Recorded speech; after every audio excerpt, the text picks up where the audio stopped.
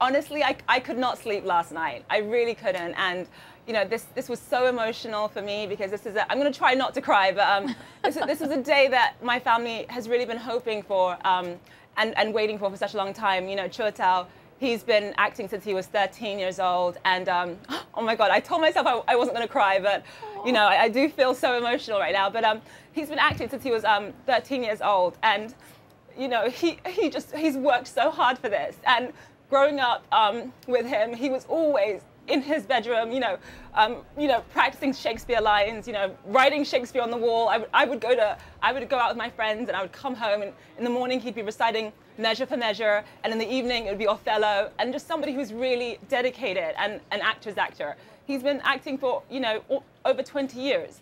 And so to finally see, you know, um, recognition for his work is just, I can't even describe the feeling. Oh, have you talked to, Oh, so sorry, sweet. I'm sorry. No, I totally understand. I've never cried I on totally TV before. Oh, that's so awesome. Sorry. So have you talked to him?